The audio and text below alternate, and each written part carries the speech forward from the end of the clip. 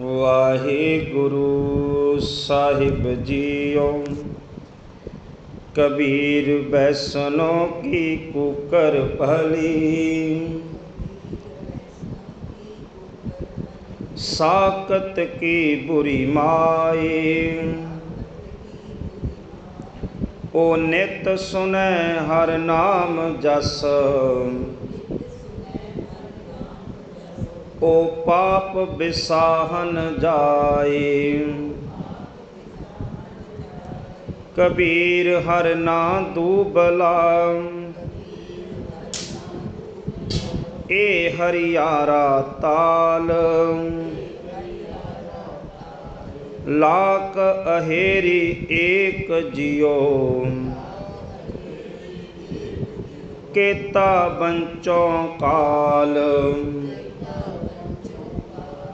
ਲਾਖ ਅਹੇਰੀ ਏਕ ਜਿਉ। ਕੇਤਾ ਬੰਚੋਂ ਕਾਲ। ਵਾਹਿਗੁਰੂ ਜੀ ਕਾ ਖਾਲਸਾ, ਵਾਹਿਗੁਰੂ ਜੀ ਕੀ ਫਤਿਹ। ਤਨ ਤਨ ਸਤਿਗੁਰੂ, ਸ੍ਰੀ ਗੁਰੂ ਗ੍ਰੰਥ ਸਾਹਿਬ ਪਾਤਸ਼ਾਹ ਜੀ ਦੇ ਪਾਵਨ ਪਵਿੱਤਰ ਚਰਨਾਂ ਦੇ ਵਿੱਚ। ਗੋਦ ਵਿੱਚ ਬਿਰਾਜਮਾਨ ਗੁਰੂ ਪਿਆਰ ਵਾਲੀ ਗੁਰੂ ਸਵਾਰੇ ਸਤ ਸੰਗੀ ਜਨੋ। ਵੱਡੇ ਭਾਗ ਨੇ ਤੁਰਕੀ ਬਾਣੀ ਆਈ, ਤਨ ਸਗਲੀ ਚਿੰਤ ਮਟਾਈ। ਤੁਰਕੀ ਬਾਣੀ ਨੂੰ ਅਸੀਂ ਸਮਝਣ ਦਾ, ਵਿਚਾਰਨ ਦਾ ਯਤਨ ਕਰ ਰਹੇ ਹਾਂ। ਭਗਤ ਬਾਬਾ ਕਬੀਰ ਸਾਹਿਬ ਜੀ ਦੇ ਪਾਵਨ ਸ਼ਲੋਕ ਸ਼ਲੋਕ ਨੰਬਰ 52 ਔਰ 53 ਦਾ ਪਾਠ ਆਪਾਂ ਸੰਗਤੀ ਰੂਪ ਉਚਾਰਨ ਕੀਤਾ ਹੈ, ਜੀ ਨਾਲ ਸਰਵਨ ਕੀਤਾ ਹੈ। ਕਬੀਰ ਬੈਸਨੋ ਕੀ ਕੁਕਰ ਪਲੀ। ਬੈਸਨੋ ਦਾ ਅਰਥ ਹੈ ਇੱਥੇ ਰੱਬ ਨਾਲ ਜੁੜਿਆ ਹੋਇਆ।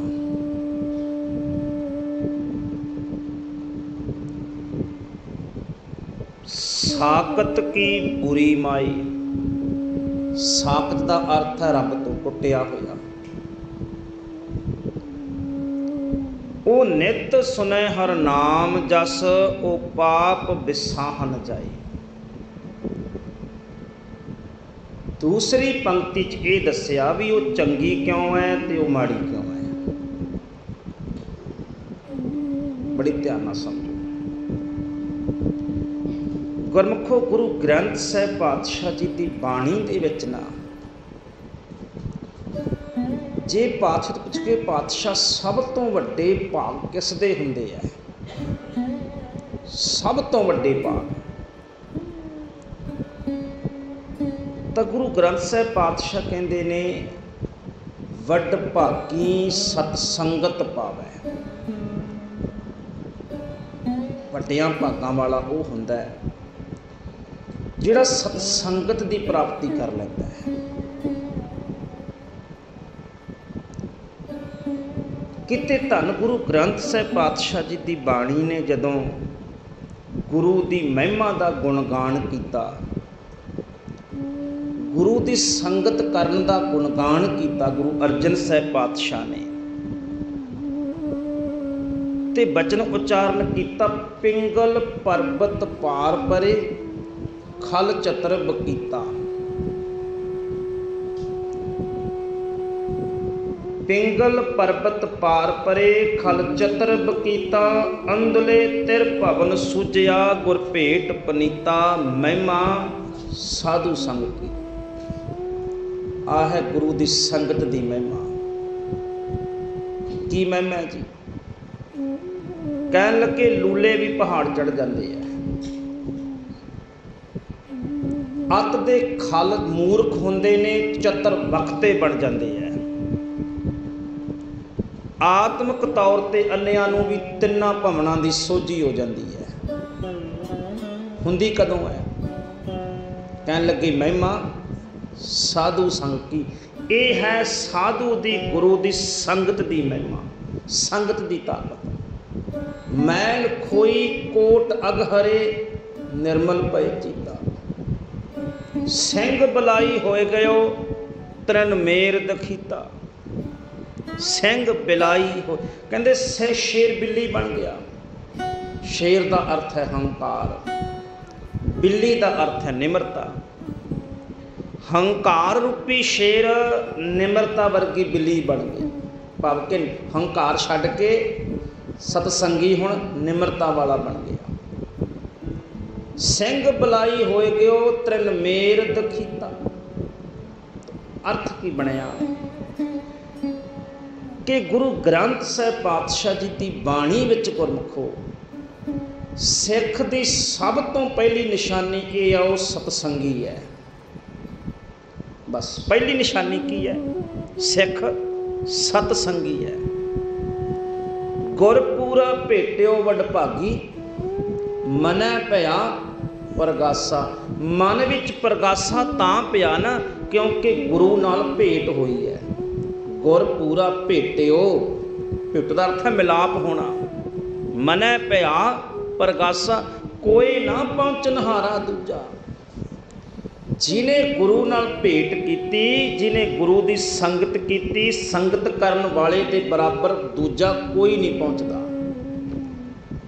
ਨਾ ਕੋਈ ਰਾਜਾ ਨਾ ਕੋਈ ਤਨਵਾਨ, ਨਾ ਕੋਈ ਬਲਵਾਨ, ਨਾ ਕੋਈ ਗਿਆਨਵਾਨ। ਜਿੱਥੇ ਸਤਸੰਗੀ ਨੇ ਪਹੁੰਚ ਜਾਣਾ ਕਿਤੇ ਪਾਤਸ਼ਾਹ ਨੇ ਕਿਹਾ, ਆਣ ਨਾ ਸੁਣੀਐ, ਕਤਹੂ ਜਾਈਐ, ਸਾਧ ਸੰਗਤ ਵਡਭਾਗੀ ਪਾਈਐ। ਵੱਡੇ ਭਾਗਾ ਪਾਲਾ ਹੈ ਭਾਈ ਤੁਸੀਂ ਸੰਗਤ ਦੀ ਪ੍ਰਾਪਤੀ ਕਰ ਲਈ ਕਿਉਂਕਿ ਗੁਰੂ ਪਾਤਸ਼ਾਹ ਨੇ ਕਿਉਂ ਕਿਹਾ, ਸਤਸੰਗੀ ਜਨ ਵੱਡੇ ਭਾਗਾ ਕਿਉਂਕਿ ਗੁਰਮਖੋ, ਕਬੀਰ ਪੰਛੀ ਹੇਕੜੋ ਫਾਹੀ 50 ਇਹ ਤਨ ਲਹਿਰੀ ਗੜਥਿਆਂ ਸੱਚੇ ਤੇਰੀ ਆਸ। ਇਸ ਕਰਕੇ ਅੱਜ ਭਗਤ ਬਾਬਾ ਕਬੀਰ ਸਾਹਿਬ ਕਹਿੰਦੇ ਨੇ, ਕਹਿਣ ਲੱਗੇ ਨਾਮ ਜਪਣ ਵਾਲੇ ਤੇ ਦਰ ਦਾ ਕੁੱਤਾ ਵੀ ਚੰਗਾ ਹੈ। ਕੁੱਕਰ ਦਾ ਦੱਸਦਾ ਕੁੱਤੀ। ਕੁੱਕਰ ਭਲੀ, ਜਿਹੜਾ ਨਾਮ ਜਪਦਾ ਹੈ ਨਾ ਨਾਮ ਜਪਣ ਵਾਲੇ ਦੀ ਸੰਗਤ ਕਰਨ ਵਾਲੀ ਕੁੱਤੀ ਵੀ ਚੰਗੀ ਹੈ। ਕਿਉਂ ਜੀ? ਉਹ ਨਾਮ ਜਪਦਾ ਹੈ, ਉਹ ਕੋਲ ਬਹਿ ਕੇ ਨਾਮ ਜਪਣ ਵਾਲੇ ਨੂੰ ਸੁਣਦੀ ਹੈ। ਸਾਕਤ ਕੀ?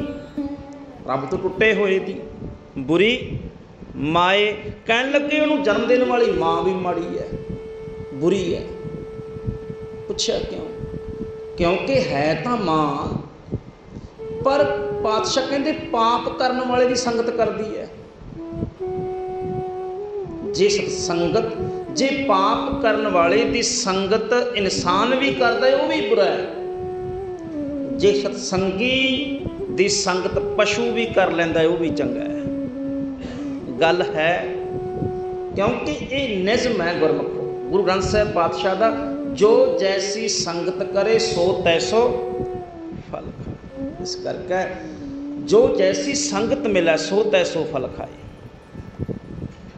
ਜਿਹੋ ਜੀ ਕੋਈ ਸੰਗਤ ਕਰੇਗਾ, ਤੇਰੀ ਜ਼ਿੰਦਗੀ 'ਚ ਤੈਨੂੰ ਫਲ ਹੋ ਜਾ ਮਿਲਣਾ ਇਸ ਕਰਕੇ ਇੱਥੇ ਜੋ ਬਚਨ ਕਬੀਰ ਸਾਹਿਬ ਨੇ ਕੀਤਾ ਕਿ ਭਾਈ, ਜੇ ਤੂੰ ਭਲਾ ਬਣਨਾ ਹੈ, ਤਾਂ ਤੂੰ ਸਤ ਦੀ, ਗੁਰੂ ਦੀ ਸੰਗਤ ਕਰਿਆ ਅੱਛਾ, ਇੱਕ ਇੱਕ ਬਚਨ ਹੋਰ ਸਮਝ ਤੇ ਭੁਲੇਖਾ ਨਾ ਰਹਿ ਜਾ। ਕਈ ਵਾਰ ਨਾ ਬੰਦਾ ਇਹ ਕਹਿੰਦਾ, ਮੈਨੂੰ ਤਾਂ ਜੀ ਸਭ ਕੁਝ ਪਤਾ ਹੀ ਹੈ ਜੀ, ਮੈਂ ਕੀ ਕਰਨਾ ਜਾ ਕੇ? ਇਦਾਂ ਇਦਾਂ ਕਹਿ ਦਿੰਦੇ ਆ। ਜੋ ਗਿਆਨੀ ਜੀ ਸਮਝਾਉਂਦੇ ਨੇ, ਮੈਨੂੰ ਪਹਿਲਾਂ ਹੀ ਪਤਾ ਹੈ। ਜਿੰਨੇ ਸ਼ਬਦ ਕੀਰਤਨ ਵਿੱਚ ਗਾਏ ਜਾਣੇ ਨੇ, ਮੈਨੂੰ ਸਾਰੇ ਯਾਦ ਹੈ। ਭਾਈ ਸਭ ਕੀ ਲੈਣ ਜਾਣਾ ਹੈ ਗੁਰਦੁਆਰੇ? ਸਭ ਕੁਝ ਪਤਾ ਹੀ ਹੈ। ਇਹ ਨਾ ਇਦਾਂ ਗੁਰਮੁਖੋਂ ਗੱਲ ਨਹੀਂ ਬਣਦੀ। ਇੱਕ ਦੋ ਉਦਾਹਰਨਾਂ ਦੇ ਜਾਵਾਂ। ਚੇਤਾ ਕਰੋ ਜਿਹੜੀਆਂ ਬੀਬੀਆਂ ਪੈਣਾ ਘਰ ਵਿੱਚ ਰਹਿੰਦੀਆਂ ਨੇ, ਸਭ ਨੂੰ ਪਤਾ ਹੀ ਹੈ ਨਾ ਵੀ ਝਾੜੂ ਮਾਰਾਂਗੇ ਤੇ ਸਫ਼ਾਈ ਹੋ ਜਾਣੀ ਹੈ। ਜੇ ਪਤਾ ਹੀ ਹੋਵੇ ਨਾ ਝਾੜੂ ਮਾਰਾਂਗੇ ਤਾਂ ਸਫ਼ਾਈ ਹੋ ਜਾਣੀ ਹੈ। ਕੇਵਲ ਇੰਨੇ ਨਾਲ ਤੇ ਘਰ ਸਾਫ਼ ਨਹੀਂ ਨਾ ਹੋਣਾ। ਘਰ ਸਾਫ਼ ਤਾਂ ਹੋਣਾ ਜੇ ਰੋਜ਼ਾਨਾ ਸਫ਼ਾਈ ਕਰਾਂਗੇ, ਪਤਾ ਹੋਣਾ ਨਾ ਕੀ ਹੋਣਾ ਹੈ। ਕੁਝ ਨਹੀਂ ਹੋਣਾ। ਸਾਨੂੰ ਸਭ ਨੂੰ ਪਤਾ ਵੀ ਘਿਓ ਖਾਵਾਂਗੇ ਤੇ ਤਾਕਤ ਆਵੇਗੀ। ਪਤਾ ਹੋਣਾ ਥੋੜਾ ਤਾਕਤ ਹੋਣੀ ਹੈ। ਮੈਨੂੰ ਪਤਾ ਹੈ।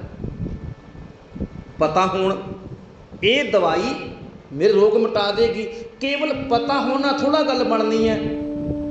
ਗੱਲ ਬਣਨੀ ਹੈ ਜੇ ਰੋਜ਼ਾਨਾ ਦਵਾਈ ਖਾਏਗਾ ਤੇ। ਗੱਲ ਤਾਂ ਤਾਂ ਬਣਨੀ ਹੈ ਨਾ। ਇਸ ਕਰਕੇ ਗੁਰੂ ਗ੍ਰੰਥ ਸਾਹਿਬ ਪਾਤਸ਼ਾਹ ਕਹਿੰਦੇ, ਭਲਿਆ, ਇਹ ਕਦੇ ਨਾ ਸਮਝੀ, ਮੈਨੂੰ ਸਭ ਕੁਝ ਪਤਾ ਹੈ। ਪਤਾ ਹੋਣਾ ਕੀ ਹੋ ਜਾਂਦਾ? ਪਤਾ ਤੇ ਪਿਰਥੀ ਚੰਦ ਨੂੰ ਵੀ ਹੋਣਾ ਹੈ। ਪਤਾ ਤੇ ਹੋਣਾ ਹੀ ਹੈ ਗੁਰਮਖੋ।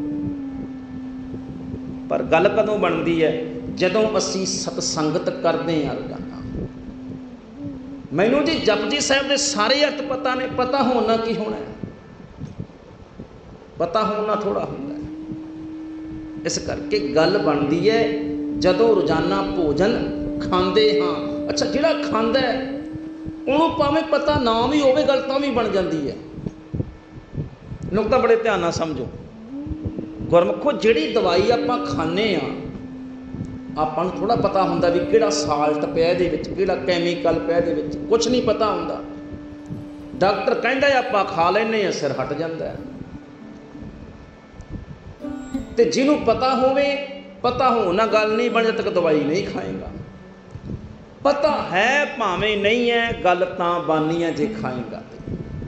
ਇਸ ਲਈ ਪਾਤਸ਼ਾਹ ਕਹਿੰਦੇ, ਸਤ ਸੰਗਤ ਉਹ ਥਾਂ ਹੈ ਜਿੱਥੇ ਭਾਈ ਰੋਜ਼ਾਨਾ ਸਾਡੇ ਮਨ ਦੀ ਸਫ਼ਾਈ ਹੁੰਦੀ ਹੈ। ਗੁਰਮਖੋ, ਸੰਸਾਰ ਵਿੱਚ ਵਿਚਰਦੇ ਆ, ਸਮਾਜ ਵਿੱਚ ਰਹਿੰਦੇ ਆ, ਕੰਨਾਂ ਵਿੱਚ ਨਿੰਦਿਆ ਪਈ ਜਾਂਦੀ ਹੈ, ਮੈਲ ਅੰਦਰ ਜਾਂਦੀ ਹੈ, ਅੱਖਾਂ ਵਿੱਚ ਮੈਲ ਆਈ ਜਾਂਦੀ ਹੈ, ਆ ਜਾਂਦੀ ਹੈ। ਇਸ ਕਰਕੇ ਸਤਿਗੁਰੂ ਪਾਤਸ਼ਾਹ ਕਹਿੰਦੇ ਨੇ ਭਾਈ, ਰੋਜ਼ਾਨਾ ਸਤਸੰਗਤ ਕਰ ਔਰ ਸਤਸੰਗਤ ਕਰਨ ਵਾਲੇ, ਨਾਮ ਜਪਣ ਵਾਲੇ ਦੇ ਦਰ ਦੀ ਕੁੱਕਰ ਵੀ ਚੰਗੀ ਹੈ। ਇਸ ਕਰਕੇ ਦੇਖੋ ਨਾ, ਉਹ ਪੰਚ ਤੰਤਰ ਦੀਆਂ ਕਹਾਣੀਆਂ ਹੁੰਦੀਆਂ ਨੇ। ਉਹ ਕਹਿੰਦੇ, ਚੋਰ ਦਾ ਪੁੱਤਰ ਚੋਰ ਮਰ ਗਿਆ ਤੇ ਚੋਰੀ ਕਰਨ ਲੱਗ ਪਿਆ। ਮਾਂ ਨੇ ਜਦੋਂ ਪਹਿਲੇ ਦਿਨ ਪੁੱਤਰ ਨੂੰ ਚੋਰੀ ਕਰਨ ਭੇਜਿਆ ਨਾ, ਕਹਿਣ ਲੱਗੀ, ਪੁੱਤਰ, ਦੋ ਗੱਲਾਂ ਯਾਦ ਰੱਖੀ। ਇੱਕ ਤਾਂ ਘਰ ਤੋਂ ਬਾਹਰ ਕਿਸੇ ਸਿਆਣੇ ਬੰਦੇ ਦੇ ਕੋਲੇ ਨਹੀਂ ਖੜਨਾ ਤੇ ਦੂਜਾ ਕਿਸੇ ਧਾਰਮਿਕ ਅਸਥਾਨ ਦੇ ਨਜ਼ਦੀਕ ਦੀ ਨਹੀਂ ਲੰਘਣਾ। ਜੇ ਲੰਘਣਾ ਵੀ ਪੈ ਜੇ ਤੇ ਕੰਨਾਂ 'ਚ ਉਂਗਲਾਂ ਦੇ ਲੈਣੀਆਂ ਨੇ। ਕਹਿੰਦਾ, ਮਾਂ, ਸੱਤ ਬਚਨ। ਸੱਤ ਬਚਨ। ਇੱਕ ਦਿਨ ਗੁਰਮਖੋ ਚੋਰੀ ਕੀਤੀ, ਅੱਧੀ ਰਾਤ ਨੂੰ ਭੱਜਿਆ ਜਾਂਦਾ ਸਵੇਰ ਹੋ ਗਈ ਭੱਜਦੇ ਆ ਭੱਜਦੇ ਆ ਪਿੱਛੇ ਪੈ ਗਏ ਪੁਲਿਸ ਵਾਲੇ। ਪੈ ਗਏ ਜਦੋਂ। ਇੰਨੇ ਨੂੰ ਸਤਸੰਗ, ਇੱਕ ਧਾਰਮਿਕ ਸਥਾਨ ਦੇ ਮੂਰਤੀ ਲੰਘਿਆ, ਉੱਥੇ ਕਥਾ ਚੱਲਦੀ ਪਈ ਸੀ।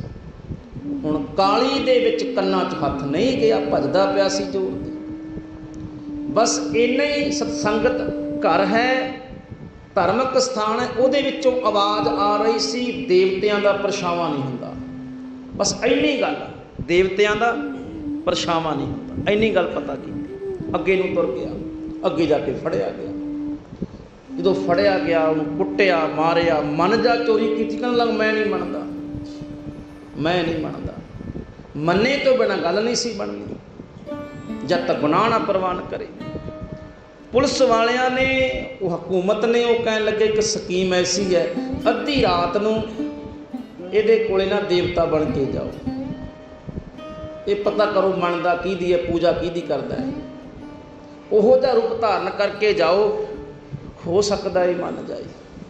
ਅੱਧੀ ਰਾਤ ਨੂੰ ਗੁਰਮਖੋ ਦੇਵਤਾ ਰੂਪ ਕਿਸੇ ਬੰਦੇ ਨੇ ਰੂਪ ਧਾਰਨ ਕੀਤਾ ਦੇਵਤੇ ਦਾ, ਤੇ ਉਹਦੇ ਕੋਲੇ ਚਲਾ ਗਿਆ, ਕਹਿਣ ਲੱਗਾ, ਮੈਂ ਤੈਨੂੰ ਬਚਾਉਣ ਵਾਸਤੇ ਆਇਆ। ਮੈਂ ਤੈਨੂੰ ਬਚਾਉਣ ਵਾਸਤੇ ਆਇਆ, ਮੈਂ ਇਹ ਦੇਵਤਾ ਤੇ ਬਚਾਉਣ ਵਾਸਤੇ ਆਇਆ ਪਰ ਮੈਂ ਤੈਨੂੰ ਬਚਾਵਾਂਗਾ ਤਾਂ ਜੇ ਮੇਰੇ ਸਾਹਮਣੇ ਸੱਚ ਬੋਲ ਦੇਵੇਂਗਾ। ਫਿਰ ਮੈਂ ਤੈਨੂੰ ਬਚਾ ਕੇ ਲੈ ਜਾਵਾਂਗਾ ਇੱਥੋਂ। ਜਦੋਂ ਇੱਕਦਮ ਇਹਨਾਂ ਕਿਹਾ ਨਾ ਵੀ ਮੈਨੂੰ ਤੂੰ ਬਚਾ ਲੇਗਾ ਜੇ ਮੈਂ ਸੱਚ ਬੋਲਦੇ ਆ। ਬੋਲਣ ਹੀ ਲੱਗਿਆ ਸੀ, ਸੱਚ ਇੱਕਦਮ ਜਿਹੜੇ ਆਵਾਜ਼ ਕੰਨਾਂ 'ਚ ਪਈ ਸੀ ਨਾ ਵੀ ਦੇਵਤਿਆਂ ਦਾ ਪਰਛਾਵਾਂ ਨਹੀਂ ਹੁੰਦਾ, ਉਹ ਸਾਹਮਣੇ ਆ ਗਈ ਗੱਲ। ਉਹਨੇ ਦੇਖਿਆ ਵੀ ਇਹਦਾ ਤਾਂ ਪਰਛਾਵਾਂ ਹੈ। ਇਹਦਾ ਤੇ ਪਰਛਾਵਾਂ ਹੈ। ਸਮਝ ਪੈ ਗਈ ਵੀ ਇਹ ਦੇਵਤਾ ਨਹੀਂ ਹੈ, ਕੋਈ ਠੱਗੀ ਧੋਖਾ ਹੈ। ਕਹਿਣ ਲੱਗਾ, ਨਹੀਂ ਜੀ, ਮੈਂ ਨਹੀਂ ਚੋਰੀ ਕੀਤੀ, ਸੱਚ ਬੋਲਦਾ ਐਵੇਂ ਭਜਦਾ ਪਿਆ ਸੀ ਫੜ ਲਿਆ ਤੁਸੀਂ ਮੈਨੂੰ। ਉਹ ਚਲਾ ਗਿਆ। ਉਹਨਾਂ ਨੇ ਕਿਹਾ, ਭਾਈ, ਨਹੀਂ, ਸੱਚ ਇਹੀ ਹੈ ਵੀ ਇਹ ਝੂਠ ਨਹੀਂ ਬੋਲਦਾ ਪਿਆ, ਸੱਚ ਬੋਲਦਾ ਪਿਆ ਨੂੰ ਛੱਡ ਦੇ। ਮੁਕਤੀ ਮਿਲ ਗਈ, ਘਰ ਚਲਾ ਗਿਆ। ਜਦੋਂ ਘਰ ਚਲਾ ਗਿਆ ਨਾ, ਮਾਂ ਨੂੰ ਕਹਿਣ ਲੱਗਾ, ਮਾਂ, ਤੂੰ ਮੇਰੇ ਉੱਤੇ ਬਹੁਤ ਵੱਡਾ ਪਾਪ ਕੀਤਾ ਮੇਰੀ ਜ਼ਿੰਦਗੀ ਤੇ। ਪੁੱਛਿਆ, ਪੁੱਤਰ, ਕਿਵੇਂ ਕਹਿਣ ਲੱਗਾ, ਮਾਂ, ਇੱਕ ਪਲ ਸਤਸੰਗਤ ਦੀ ਆਵਾਜ਼ ਕੰਨਾਂ 'ਚ ਇੱਕ ਪਲ ਪੈ ਗਈ ਤੇ ਮੈਨੂੰ ਦੁਨਿਆਵੀ ਬੰਧਨਾਂ ਤੋਂ ਛੁਟਕਾਰਾ ਮਿਲ ਗਿਆ। ਕੇਵਲ ਇੱਕ ਇੱਕ ਇੱਕ ਹੀ ਸ਼ਬਦ ਕੰਨਾਂ ਵਿੱਚ ਪਿਆ ਤੇ ਮੈਨੂੰ ਛੁਟਕਾਰਾ ਜੇਲ੍ਹ ਦੇ ਵਿੱਚੋਂ ਮਿਲ ਗਿਆ। ਜੇ ਮਾਂ, ਸਦਾ ਹੀ ਸਤਸੰਗਤ ਵਿੱਚ ਚਲਾ ਜਾਵਾਂ ਤੇ ਹੋ ਸਕਦਾ ਜਨਮ ਮਰਨ ਵੀ ਕੱਟਿਆ ਜਾਏ ਇੱਕ ਪਲ ਦੀ ਸਤਸੰਗਤ ਨੇ ਮੈਨੂੰ ਛੁਟਕਾਰਾ ਦਿਲਾ ਦਿੱਤਾ। ਇਸ ਕਰਕੇ ਗੁਰੂ ਗ੍ਰੰਥ ਸਾਹਿਬ ਪਾਤਸ਼ਾਹ ਨੇ ਕਿਹਾ, ਭਾਈ, ਵੱਡ ਭਾਗੀ ਸਤਸੰਗਤ ਪਾਵੈ ਭਾਗਹੀਨ ਭ੍ਰਮ ਚੋਟਾਂ ਖਾਵੈ। ਬਿਨ ਭਾਗਾਂ ਸਤ ਸੰਗ ਨਾ ਲੱਭੈ। ਬੰਦਾ ਕਹਿੰਦਾ ਜੀ, ਭਾਗਾਂ ਵਾਲਿਆਂ ਜੀ, ਇਹ ਮਿਲ ਗਿਆ, ਉਹ ਮਿਲ ਗਿਆ। ਗੁਰੂ ਗ੍ਰੰਥ ਸਾਹਿਬ ਪਾਤਸ਼ਾਹ ਕਹਿੰਦੇ, ਸਤ ਸੰਗਤ ਮਿਲ ਗਈ ਹੈ। ਕਹਿਣ ਲੱਗਾ, ਜੀ ਨਹੀਂ। ਪਾਤਸ਼ਾਹ ਕਹਿੰਦੇ, ਫਿਰ ਕਿਵੇਂ ਵੱਡੇ ਭਾਗਾਂ ਵਾਲਾ ਵੱਡੇ ਭਗਤਾਂ ਤਾਂ ਨੇ, ਜੇ ਸਤ ਦੀ ਸੰਗਤ ਕਰਦਾ। ਜੇ ਤੈਨੂੰ ਮਿਲਾਪ ਚੰਗਾ ਮਿਲਿਆ ਹੈ, ਔਰ ਇਹ ਗੁਰਮੁਖੋ ਸੱਚ ਹੈ। ਸਾਡੇ ਧਰਮ ਦੀ ਤਰੱਕੀ, ਮੈਂ ਕੱਲ ਇੱਕ ਬੇਨਤੀ ਸੰਗਤਾਂ ਨਾਲ ਕਰ ਰਿਹਾ ਸੀ ਗੁਰਮੁਖਾਂ ਦੇ ਨਾਲ। ਦੇਖੋ ਆ ਵਿਸਾਖੀ ਆਉਂਦੀ ਪਈ ਹੈ। ਗੁਰੂ ਪਾਤਸ਼ਾਹ ਨੇ ਪੰਜ ਪਿਆਰੇ ਸੱਚ। ਪੰਜ ਪਿਆਰੇ ਕੌਣ ਸੀ? ਅਸਲ ਵਿੱਚ ਕੌਮ ਦੇ ਅਗਵਾਈ ਕਰਨ ਵਾਲੇ ਆਗੂ ਥਾਪੇ ਨਾ ਜੇ ਆਪਾਂ ਥੋੜਾ ਜਿਹਾ ਧਿਆਨ ਨਾਲ ਸਮਝ ਲਈਏ ਨਾ ਕਿਤੇ ਵੀ ਪੰਜ ਪਿਆਰੇ ਥਾਪੇ ਕਾਦੇ ਲਈ ਸੀ? ਕੌਮ ਦੀ ਅਗਵਾਈ ਦੇ ਲਈ ਬਣਾਏ ਸੀ ਉਹ। ਕਿਉਂਕਿ ਜੰਗਾਂ ਜੁਲਣ ਦਾ ਸਮਾਂ ਸੀ। ਇਹ ਪਤਾ ਸੀ ਸਤਿਗੁਰੂ ਪਾਤਸ਼ਾਹ ਨੂੰ ਵੀ ਸਰੀਰ ਹੈ ਨਾਸ਼ਵੰਤ ਤੇ ਕਦੋਂ ਵੀ ਨਾਸ਼ ਹੋ ਸਕਦਾ ਹੈ।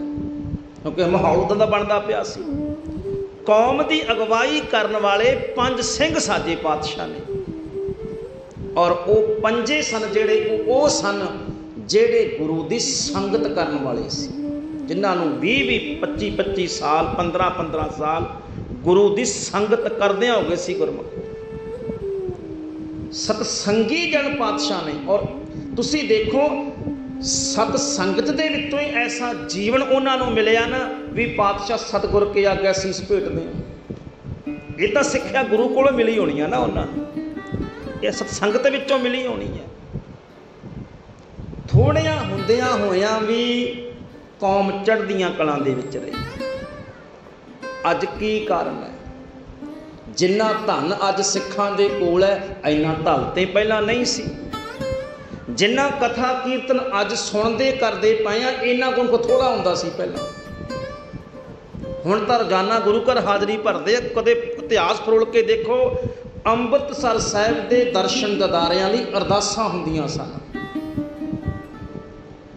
ਰੋਜ਼ਾਨਾ ਨਹੀਂ ਸੀ ਸਿੱਖਾਂ ਨੂੰ ਸੰਗਤ ਮਿਲਦੀ। ਪਰ ਚੜ੍ਹਦੀ ਕਲਾ ਚ ਕੌਮ ਕਿਉਂ ਸੀ? ਕਿਉਂਕਿ ਕੌਮ ਦੇ ਆਗੂ ਸਤਸੰਗਤ ਕਰਨ ਵਾਲੇ ਸੀ। ਅੱਜ ਅਸੀਂ ਕੀ ਚੁਣਦੇ ਆ ਇਹਨੂੰ ਚੁਣਦੇ ਹੋ ਜੀ, ਇਹ ਪੈਸੇ ਲਾ ਦੂਗਾ ਚਾਰ। ਵੀ ਪੈਸੇ ਦੀ ਕੀ ਘਾਟ ਹੈ ਗੁਰੂ ਘਰ ਦੇ ਵਿੱਚ? ਸਤਸੰਗੀ ਚੁਣੋ ਭਾਈ, ਜਿਹੜਾ ਰੋਜ਼ਾਨਾ ਸਤਸੰਗਤ ਕਰਦਾ ਜਾ ਕੇ। ਜਦ ਤੱਕ ਕੌਮ ਦੀ ਅਗਵਾਈ ਸਤਸੰਗਤ ਕਰਨ ਵਾਲਿਆਂ ਦੇ ਹੱਥ ਵਿੱਚ ਰਹੀ। ਨਵਾਬ ਕਪੂਰ ਸਿੰਘ ਲੈ ਲਓ। ਆ ਆ ਕੱਲ 19 9 ਤਰੀਕ ਸੀ ਕੱਲ। ਦਿੱਲੀ ਫਤਿਹ ਕੀਤੀ ਗੁਰੂ ਕੇ ਸਿੱਖਾਂ ਨੇ। ਦਿੱਲੀ ਫਤਿਹ ਕੀਤੀ। 17 ਵਾਰ ਦਿੱਲੀ ਜਿੱਤੀ ਗੁਰਮੁਖੀ। 17 ਵਾਰ। ਉਹ ਦਿੱਲੀ ਫਤਿਹ ਦਿਵਸ ਸੀ ਕੱਲ। 17 ਵਾਰ ਦਿੱਲੀ ਜਿੱਤੀ। ਪਰ ਉਹ ਉਹ ਕਦੋਂ ਜਿੱਤੀ? ਜਦੋਂ ਕੌਮ ਦੀ ਅਗਵਾਈ ਸਤਸੰਗਤ ਕਰਨ ਵਾਲਿਆਂ ਦੇ, ਗੁਰਬਾਣੀ ਪੜ੍ਹਨ ਵਾਲਿਆਂ ਦੇ, ਗੁਰੂ ਦੇ ਚਰਨਾਂ ਵਿੱਚ ਬੈਠਣ ਵਾਲਿਆਂ ਦੇ ਹੱਥ ਸੀ। ਬਸ ਅੱਜ ਸਭ ਤੋਂ ਵੱਡੀ ਸਾਡੇ 'ਚ ਕਮਜ਼ੋਰੀ ਇਹ ਆ ਰਹੀ ਹੈ। ਇਸ ਕਰਕੇ ਗੁਰੂ ਪਾਤਸ਼ਾਹ ਨੇ ਸਿੱਖ ਦੀ ਝੋਲੀ ਦਾਤ ਪਾਈ, ਕਬੀਰ, ਬੈਸਨੋ ਕੀ ਕੁਕਰ ਭਲੀ। ਬੈਸਨੋ ਪਰਮੇਸ਼ਰ ਦੇ ਨਾਮ ਨਾਲ ਜੁੜਿਆ ਹੋਇਆ। ਉਹਦੇ ਦਰ ਦੀ ਕੁੱਤੀ ਵੀ ਚੰਗੀ ਹੈ। ਕਿਉਂ? ਉਹ ਨਾਮ ਜਪਦਾ ਉਹ ਕੋਲ ਬੈਠ ਕੇ ਸੁਣਦੀ ਹੈ। ਸਾਕਤ ਕੀ ਬੁਰੀ ਮਾਏ ਸਾਕਤ ਬੰਦੇ ਨੂੰ ਜਨਮ ਦੇਣ ਵਾਲੀ ਮਾਂ ਵੀ ਮਾੜੀ ਹੈ। ਪੁੱਛਿਆ ਕਿਉਂ? ਕਿਉਂਕਿ ਉਹ ਪਾਪ ਕਰਦਾ ਉਹ ਵੇਖਦੀ ਹੈ ਨਾਲ। ਨਾਲ ਸਹਿਯੋਗ ਵੀ ਕਰਦੀ ਹੋਵੇਗੀ ਪੁੱਤਰ ਦਾ। ਉਹ ਨਿਤ ਸੁਨੈ ਹਰ ਨਾਮ ਜਸ। ਉਹ ਕੂਕਰ ਰੋਜ਼ਾਨਾ ਨਾਮ ਜਸ ਨੂੰ ਸੁਣਦੀ ਹੈ। ਉਹ ਪਾਪ ਵਿਸਾਹਨ ਜਾਏ ਤੇ ਉਹ ਆਪਣੇ ਰੱਬ ਤੋਂ ਟੁੱਟੇ ਹੋਏ ਦੇ ਨਾਲ ਪਾਪ ਕਮਾਉਂਦੀ ਹੈ। ਤੋ ਪਾਤਸ਼ਾਹ ਕਹਿੰਦੇ ਨੇ ਭਾਈ, ਜੇ ਤੂੰ, ਇਹ ਤੂੰ ਕਹਿ ਲੈ, ਇੱਕ ਇੱਕ ਨਾ ਨੁਕਤਾ ਮਤਲਬ ਮੈਨੂੰ ਚੇਤੇ ਆ ਗਿਆ। ਭਾਈ ਗੁਰਮੁਖੋ ਨੰਦ ਲਾਲ ਜੀ ਗੋਆ ਸਾਨਾ ਜਿਹੜੇ ਭਾਈ ਨੰਦ ਲਾਲ ਜੀ ਗੋਆ ਗੁਰੂ ਗੋਬਿੰਦ ਸਿੰਘ ਪਾਤਸ਼ਾਹ ਦੇ ਦਰ ਦੇ ਉੱਤੇ ਆਏ। ਪਾਤਸ਼ਾਹ ਸੇਵਾ ਬਖਸ਼ੋ। ਪਾਤਸ਼ਾਹ ਕਹਿੰਦੇ, ਲੰਗਰ ਦੀ ਸੇਵਾ ਕਰਿਆ ਕਰ, ਭਾਂਡੇ ਮਾਂਜਣ ਤੇ ਲਾਤਾ। ਸੇਵਾ ਕਰਦਾ ਸੀ। ਹੌਲੀ ਹੌਲੀ ਪਾਤਸ਼ਾਹ ਨੇ ਲੰਗਰ ਚੱਕ ਕੀਤੇ ਇਹਨਾਂ ਉਹਦੇ ਲੰਗਰ ਦੀ ਸੇਵਾ ਤੋਂ ਪ੍ਰਭਾਵਿਤ ਹੋਏ। ਪਾਤਸ਼ਾਹ ਨੇ ਇੱਕ ਪਾਸੇ ਦਾ ਲੰਗਰੀ ਉਹਨੂੰ ਦੇ ਦਿੱਤਾ ਸਾਰਾ ਵੀ, ਇੱਧਰ ਲੰਗਰੀ ਤੂੰ ਸੰਭਾਲ ਕਰ ਇਸ ਪਾਸੇ ਦਾ। ਗੁਰਮਖੋ ਜਿਹੜਾ ਪ੍ਰਸ਼ਾਦਾ ਗੁਰੂ ਗੋਬਿੰਦ ਸਿੰਘ ਪਾਤਸ਼ਾਹ ਛਕਦੇ ਸਨ ਨਾ, ਉਹ ਪ੍ਰਸ਼ਾਦਾ ਭਾਈ ਨੰਦ ਲਾਲ ਜੀ ਦੇ ਲੰਗਰਾਂ ਦੇ ਵਿੱਚੋਂ ਆਉਂਦਾ ਸੀ। ਇੱਕ ਦਿਨ ਪ੍ਰਸ਼ਾਦਾ ਤਿਆਰ ਕੀਤਾ। ਲੰਗਰ ਦੇ ਵਿੱਚੋਂ ਭਾਈ ਨੰਦ ਲਾਲ ਸਜਾ ਕੇ ਥਾਲ ਵਿੱਚ ਪਾਤਸ਼ਾਹ ਦੇ ਕੋਲ ਲੈ ਗਏ। ਸਤਿਗੁਰੂ ਪਾਤਸ਼ਾਹ ਦੇ ਕੋਲੇ ਨਾ ਇਤਿਹਾਸ ਕਰ ਕਹਿੰਦੇ ਨੇ ਇਦਾਂ ਪਾਤਸ਼ਾਹ ਤੁਰਦੇ ਜਾਂਦੇ, ਪਾਤਸ਼ਾਹ ਲੰਗਰ ਆ ਗਿਆ, ਸਤਿਗੁਰੂ ਪਾਤਸ਼ਾਹ ਉੱਥੇ ਹੀ ਬਹਿ ਗਏ। ਚਲੋ ਇੱਥੇ ਛਕ ਲੈਣ ਸਿੱਖਾਂ ਦੇ। ਕਹਿਣ ਲੱਗੇ, ਕੁੱਕਰ ਆਇਆ ਤੇ ਪੂਛ ਮਾਰ ਲੱਗਿਆ ਪਾਤਸ਼ਾਹ ਨੇ ਥੋੜੀ ਜੀ ਬਰਫ ਛੁੱਟ ਦਿੱਤੀ ਉਹਨੂੰ ਇਹਨੇ। ਸੁੱਟ ਦਿੱਤੀ, ਪਰੇ ਨੂੰ ਚਲਾ ਗਿਆ। ਦੂਜੇ ਦਿਨ ਆਇਆ, ਸੇਵਕ ਨੂੰ ਭੇਜ ਦਿੱਤਾ, ਲੰਗਰ ਲੈ ਕੇ ਜਾ।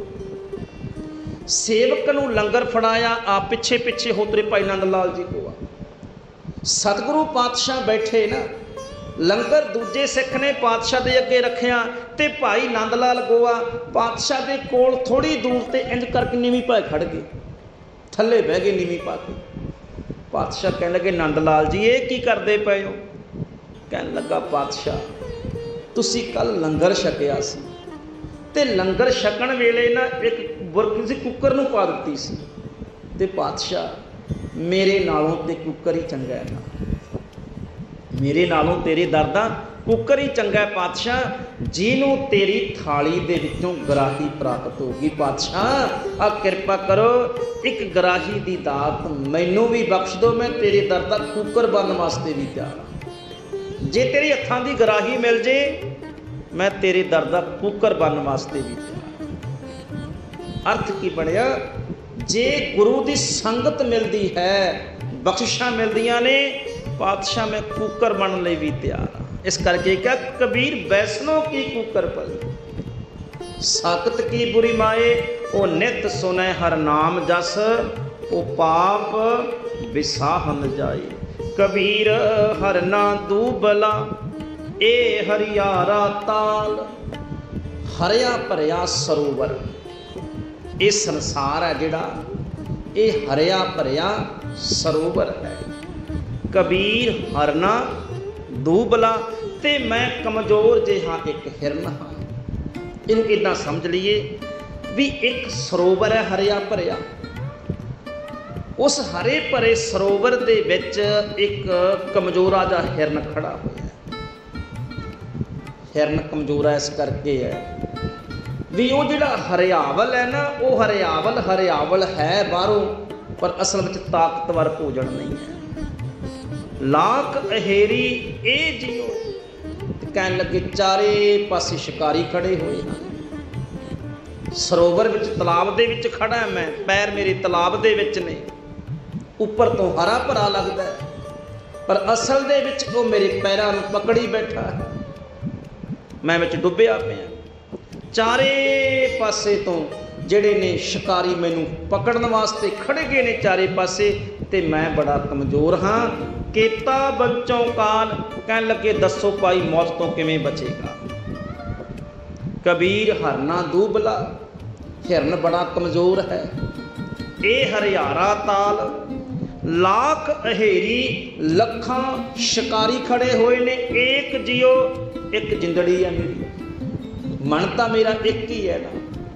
ਇਹਨੂੰ ਪਕੜਨ ਵਾਲੇ, ਇਹਨੂੰ ਕਾਬੂ ਕਰਨ ਵਾਲੇ ਲੱਖਾਂ ਮਕਾਰ ਨੇ। ਔਰ ਸੱਚਾ ਗੁਰਮੁਖ, ਇਸੇ ਨੂੰ ਕਿਹਾ, ਸਰਵਰ ਪੰਛੀ ਹੇਕੜੋ ਫਾਹੀਵਾਲ 50 ਇਹ ਤਨ ਲਹਿਰੀ ਗੱਡਥਿਆਂ ਸੱਚੇ ਤੇਰੀ ਆਸ।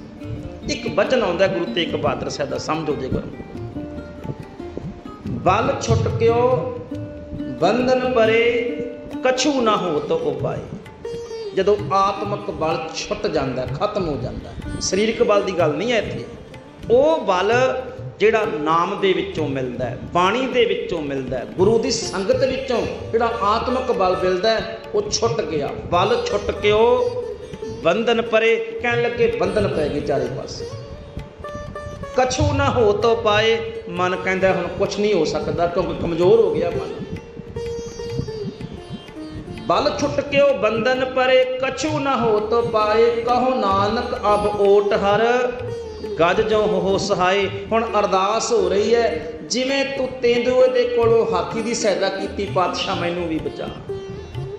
ਕਹਿਣ ਲੱਗੇ, ਬਲ ਹੋਆ, ਬੰਧਨ ਛੁੱਟੇ। ਹੁਣ ਬਾਜੀ ਪਲਟ ਗਈ ਬਿਲਕੁਲ। ਪਹਿਲਾਂ ਕੀ ਸੀ? ਬਲ ਛੁੱਟ ਕੇ ਉਹ ਬੰਧਨ ਪਰੇ ਹੁਣ ਕੀ ਹੋ ਗਿਆ? ਬਲ ਹੋਆ, ਬੰਧਨ ਛੁੱਟੇ। ਬਲ ਪ੍ਰਾਪਤ ਹੋ ਗਿਆ ਨਾਮ ਦਾ। ਬਾਣੀ ਦਾ, ਸਿਮਰਨ ਦਾ ਬਲ ਜੀਵਨ ਦੇ ਵਿੱਚ ਆ ਗਿਆ। ਬੰਧਨ ਛੋਟੇ ਟੁੱਟ ਗਏ ਗੁਰਮਖੋ ਸਾਰੇ ਬੰਧਨ। ਅਰਥ ਕੀ ਬਣਿਆ? ਜਿੰਨੇ ਸਾਨੂੰ ਬੰਧਨ ਪਏ ਹੋਏ ਨੇ, ਜਿੰਨੇ ਸਾਨੂੰ ਆਤਮਿਕ ਤੌਰ ਤੇ ਸਾਡੇ ਮਨ ਨੂੰ ਬੰਧਨ ਪਏ ਹੋਏ ਨੇ, ਮਨ ਨੂੰ ਬੰਧਨ ਦਾ ਕੀ ਅਰਥ ਹੈ? ਮਨ ਨੂੰ ਹੰਕਾਰ ਪੈਦਾ ਹੋ ਜਾਣਾ, ਇਹ ਵੀ ਬੰਧਨ ਹੀ ਹੈ ਇੱਕ।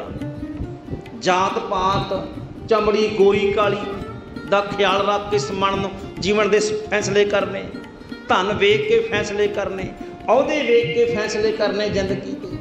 ਇਹ ਕੀ ਹੈ? ਬੰਧਨ ਨੇ ਗੁਰਮਖੋ ਸਾਰੇ। ਬਾਦਸ਼ਾਹ ਕਹਿੰਦੇ, ਛੁੱਟ ਜਾਂਦੇ ਨੇ ਇਹ ਬੰਧਨ ਜਦੋਂ ਆਤਮਿਕ ਬਲ ਪ੍ਰਾਪਤ ਹੋ ਜਾਂਦਾ ਹੈ। ਕਹੋ ਨਾਨਕ, ਨਾ- ਸਭ ਕੁਝ ਤੁਮ ਰਹੇ ਹੱਥ ਮੈਂ, ਤੁਮ ਹੀ ਹੋ ਸਹਾਈ। ਫਿਰ ਇਹ ਘਰ ਪਾਣੀ ਵਾਪਰਦੀ ਇਸ ਕਰਕੇ ਸਤਿਗੁਰੂ ਗੁਰੂ ਗ੍ਰੰਥ ਸਾਹਿਬ ਪਾਤਸ਼ਾਹ ਕਹਿੰਦੇ ਨੇ ਭਾਈ, ਇਹ ਮਨ ਰੂਪੀ ਜਿਹੜਾ ਹਿਰਨ ਹੈ ਇਹ ਬਹੁਤ ਕਮਜ਼ੋਰ ਹੈ। ਕਮਜ਼ੋਰਾ ਕਿਉਂ ਹੈ? ਕਿਉਂਕਿ ਇਹ ਖੁਰਾਕ ਨਹੀਂ ਖਾ ਰਿਹਾ। ਇਸ ਕਰਕੇ ਕਮਜ਼ੋਰ ਹੈ ਨਾ। ਜਿਹਨੂੰ ਗੁਰੂ ਅਰਜਨ ਦੇਵ ਪਾਤਸ਼ਾਹ ਕਹਿੰਦੇ ਨੇ, ਇਹ ਵਸਤ ਤਜੀ ਨਾ ਜਾਈ, ਨਿਤ ਨਿਤ ਰੱਖ ਔਰ ਧਾਰੋ ਰੋਜ਼ਾਨਾ ਇਹਨੂੰ ਹਿਰਦੇ 'ਚ ਧਾਰਨ ਕਰ ਕਮਜ਼ੋਰ ਨਹੀਂ ਪਵੇਗਾ। ਗੁਰਮੁਖੋ, ਕੀ ਮੈਂ ਕਈ ਵਾਰ ਸਮਝਦਾ ਹੁੰਦਾ ਕੀ ਕਾਰਨ ਹੈ? ਸਭ ਕੁਝ ਹੁੰਦਿਆਂ ਹੋਇਆਂ ਵੀ ਮਨ ਕੰਮਦਾ ਹੈ ਸਾਡਾ। ਸਭ ਕੁਝ ਹੈ ਸਾਡੇ ਕੋਲੇ, ਪਰ ਮਨ ਖੌਫ ਦੇ ਵਿੱਚ ਕਿਉਂ ਰਹਿੰਦਾ ਹੈ? ਉਹ ਵੀ ਤਾਂ ਸਾਡੇ ਸਾਡੇ ਬਜ਼ੁਰਗ ਹੀ ਸਨ ਨਾ। ਸਾਡੇ, ਕਦੇ ਤੁਸੀਂ ਸਾਡੇ ਬਜ਼ੁਰਗਾਂ ਦਾ ਪੁਰਾਤਨ ਸਾਡੇ ਸਿੱਖਣ ਇਤਿਹਾਸ ਪੜ੍ਹ ਕੇ ਦੇਖੋ ਆਪ ਉਹ ਸਹੈ ਨੰਗ ਔਰ ਭੁੱਖ ਦੇਖ ਨਾ ਸਕੈ ਸਿੰਘਣ ਦੁੱਖ। ਵਾਣ, ਵਟ ਔਰ ਕਰੈ ਮਜੂਰੀ ਭੇਜਨ ਵਸਤੂ ਸਿੰਘ ਜ਼ਰੂਰੀ। ਕਹਿਣ ਲੱਗੇ, ਵਾਣ ਵਟਦੇ ਸੀ, ਮਜ਼ਦੂਰੀਆਂ ਕਰਦੇ ਸੀ, ਖੇਤਾਂ 'ਚ ਕੰਮ ਕਰਦੇ ਸੀ, ਪਰ ਜ਼ੁਲਮ ਦਾ ਟਾਕਰਾ ਕਰਦੇ ਸੀ। ਹੈਰਾਨ ਰਹਿ ਜਾਂਦਾ ਸੀ ਅਹਿਮਦ ਸ਼ਾਹ ਅਬਦਾਲੀ। ਕਹਿੰਦਾ ਕ- ਰਹਿੰਦੇ ਕਿੱਥੇ ਐ? ਕਹਿੰਦਾ ਜੀ, ਘੋੜਿਆਂ ਦੀਆਂ ਕਾਠੀਆਂ ਘਰ ਬਣਾ ਰੱਖੇ ਘਰ ਹੀ ਕੋਈ ਨਹੀਂ ਇਹਨਾਂ ਦਾ। ਐਸਾ ਵੀ ਸਮਾਂ ਆਇਆ। ਪਰ ਟਕਰਾਉਂਦੇ ਆ ਹਕੂਮਤ ਨਾਲ। ਆਤਮਿਕ ਬਲ ਸੀ। ਘਰ ਨਹੀਂ ਸੀ, ਜ਼ਮੀਨਾਂ ਨਹੀਂ ਸੀ, ਜਾਇਦਾਦਾਂ ਨਹੀਂ ਸੀ, ਪਰ ਗੁਰੂ ਦੀ ਬਾਣੀ ਸੀ ਕੋਲ।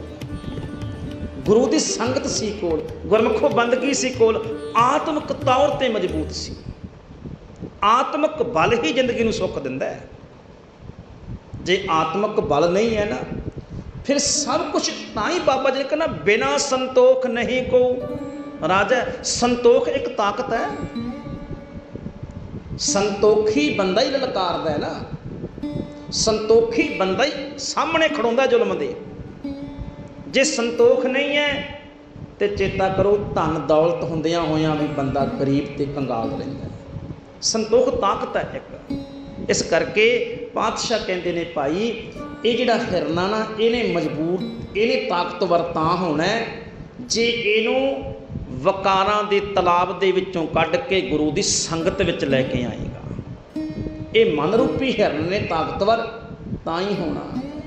ਇਸ ਕਰਕੇ ਗੁਰਮੁਖੋ ਜਿਹੜੀ ਸਤ ਸੰਗਤ ਦੀ ਤਾਕਤ ਹੈ ਨਾ, ਉਹੀ ਸਭ ਤੋਂ ਵੱਡੀ ਦਾਤ ਹੈ। ਜਿਵੇਂ ਜਿਵੇਂ ਪਾਤਸ਼ਾਹ ਕਹਿੰਦੇ, ਹਰ ਬਿਸਰਤ ਤੇਰੇ ਗੁਣ ਗਲਿਆ। ਹਰੀ ਨੂੰ ਗੁਰੂ ਨੂੰ ਵਸਾਰ ਦਿੱਤਾ, ਤੇਰੇ ਗੁਣ ਗਲ ਜਾਂਦੇ ਆ, ਖਤਮ ਹੋ ਜਾਂਦੇ ਆ। ਤੇ ਜੇ ਸਤਸੰਗਤ ਗੁਰੂ ਦੀ ਕਰੀਏ, ਜੇ ਸਤਸੰਗਤ ਕਰੀਏ ਫਿਰ ਕੀ ਹੁੰਦਾ? ਹੈ? ਭਇਆ ਮਨੂਰ ਕੰਚਨ ਫਿਰ ਹੋਵੇ, ਜੇ ਗੁਰ ਮਿਲੈ ਤਨੇਹਾ। ਫਿਰ ਮਨੂਰ ਵੀ ਕੰਚਨ ਬਣ ਜਾਂਦਾ ਗੁਰਮੁਖੋ। ਕਚਹੋਂ ਕੰਚਨ ਭਇਓ, ਸ਼ਬਦ ਗੁਰ ਸਰਬ ਨੇ ਸੁਣਿਓ, ਵਿਖ ਤੇ ਅੰਮ੍ਰਿਤ ਹੋਇਓ, ਨਾਮ ਸਤਿਗੁਰ ਮੁਖ ਪਣਿਓ ਲੋਹ ਹੋਇਓ ਲਾਲ, ਨਦਰ ਸਤਿਗੁਰ ਧਾਰੈ ਪਾਤਸ਼ਾਹ ਕਹਿੰਦੇ, ਸਾਰੀ ਕਰਾਮਾਤ ਨਾ ਗੁਰੂ ਦੀ ਸੰਗਤ ਵਿੱਚ ਬੈਠਣ ਨਾਲ ਹੋਣੀ ਹੈ ਇਹ ਗੁਰਮੁਖੋ ਆਤਮਕ ਬਲ ਹੈ ਜਿਹੜਾ ਇਹ ਗੁਰੂ ਦੀ ਸੰਗਤ ਵਿੱਚੋਂ ਪ੍ਰਾਪਤ ਹੋਣਾ ਹੈ ਪਾਤਸ਼ਾਹ ਕਿਰਪਾ ਕਰਨ ਭੁੱਲਾਂ ਚੁੱਕਾਂ ਦੀ ਖਿਮਾ। ਫਤਿਹ ਬੁਲਾਓ ਆਖੋ ਜੀ। ਵਾਹਿਗੁਰੂ ਜੀ ਕਾ ਖਾਲਸਾ। ਵਾਹਿਗੁਰੂ ਜੀ